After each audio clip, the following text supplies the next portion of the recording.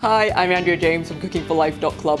This week's Tuesday Q&A question is what is the difference between a high-speed blender and a normal blender when it comes to making nut milks? So in both blenders, I have measured exactly 206 grams of cashew nuts per blender with three cups of water each. In case you're wondering about the very exact 206 number, it's because I put in two cups of cashew nuts pre-soaked. Uh, so that's the kind of proportions I usually use when uh, starting out making a nut milk. I sometimes dilute it thereafter, but one cup pre-soaked to three cups of water is the standard proportions uh, that I use. But I just want to make sure that both had exactly the same amount uh, post-soak. So that is what we have here. So I'm going to fire them off for equal amounts of time and then take a little sample and then do that again. So let's crack on.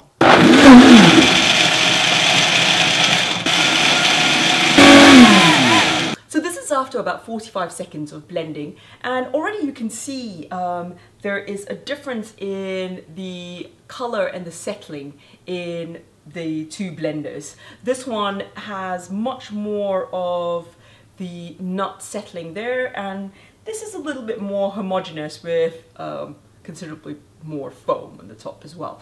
So I've taken a sample from the normal blender and this is what it looks like after of about 45 seconds. So you can see it's still quite a lot of the nut and some of it has formed into the milk. So I'm just trying to get all of this back in. And you can see with the high-speed blender, it's actually um, already completely blended down. So there aren't really any sediments uh, left. I'm now going to blend both of them until I know that they're completely as, as blended as they can be.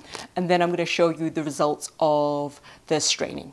So this is how I strain the milk. I've already done the same with the high-speed blender while the regular blender was blending. So I'm just going to show you the step and then I'm going to compare the, the different weights. So uh, I used a, a, nut milk bag. You can just get these, um, as with everything else probably, in, uh, in Amazon. One of the differences I can see already is with the regular blender, there is a little bit of nut sediment in the blender itself.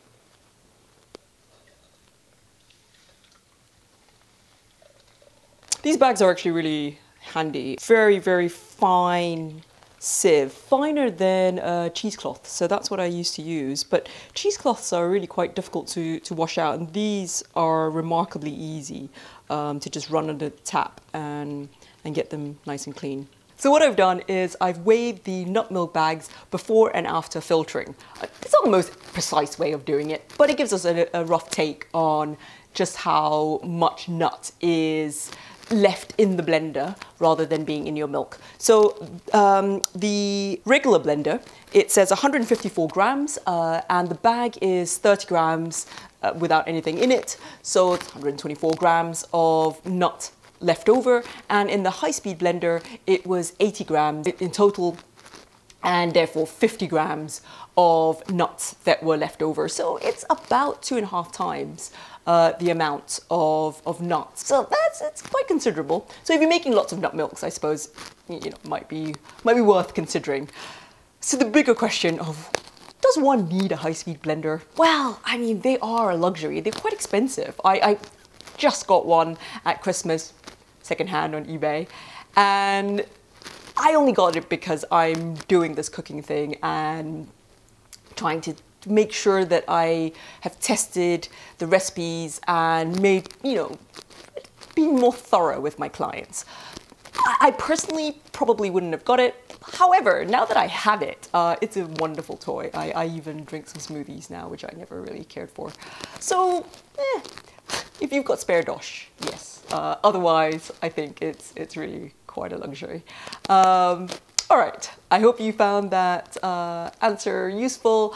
As I go along, I will do more tests and put the results in the members area. If you'd like to find out how you can become a Cooking for Life uh, club member, uh, drop me a line. Uh, I'll be opening up memberships very soon. So questions for next week, do write to questions at cookingforlife.club.